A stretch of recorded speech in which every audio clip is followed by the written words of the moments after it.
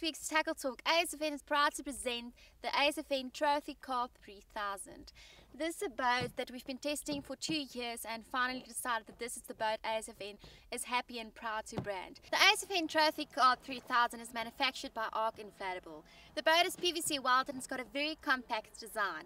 Let's quickly run through the features. The ASFN Trophy Carp is conveniently fitted with handles on the sides, on the back and on the front, easy to carry. Secondly, you've got a rope on the top, so in the event where you do fall off the boat, you will be able to push yourself up against the boat and lift yourself into the boat.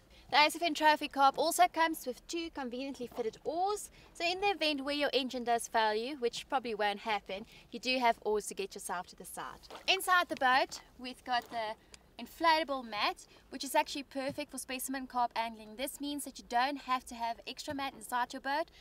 This is very soft and very convenient for the fish and the fish won't get hurt lying on this mat. The Transom is designed in such a way that you can conveniently fit your fish finder to it, your transducer to the bottom and mount your motor on the back. With the ASFN Trophy Carp, you also have the option of putting in a little bench. You can take it out or put it in for your own convenience. Now with the ASFN Trophy Carp, you get a double action pump. You get a nice bag to store your Trophy Carp in. You also get a puncture repair kit in the event you actually do get a puncture. Now on the ASFN Trophy Carp, you can fit any outboard from size 4 all the way up to 9.9 horsepower.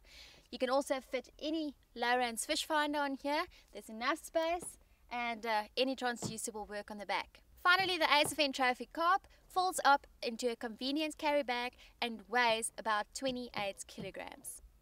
So if you're interested in getting yourself one of these, be sure to visit our website at www.asfn.tv and grab your very own ASFN Trophy Carp 3000 today.